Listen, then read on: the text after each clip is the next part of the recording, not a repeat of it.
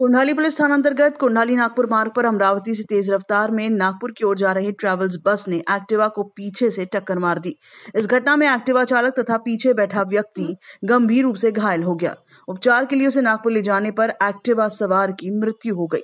प्राप्त जानकारी के अनुसार कोंडाली से 15 किलोमीटर दूर कोंडाली नागपुर मार्ग पर बाज़ार गाँव क्षेत्र में गुरुवार दोपहर करीब 12 बजे बाज़ार गाँव उड़ान पुल के सामने येरन गाँव टी पॉइंट पर एक्टिवा गाड़ी पर अरविंद मिश्रा तथा दीपक घोरपड़े दोनों राजीव नगर, हिंगना निवासी यह बाज़ार गाँव के समीप अंबिका फार्म हाउस से अपना काम निपटाकर नागपुर की ओर जा रहे थे।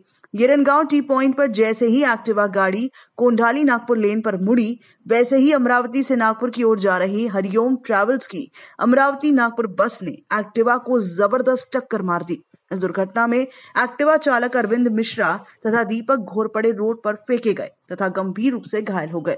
अरविंद मिश्रा तथा दीपक घोरपड़े को नागपुर मेडिकल कॉलेज रेफर किया गया, जहाँ उपचार के दौरान दीपक घोरपड़े की मौत हो गई।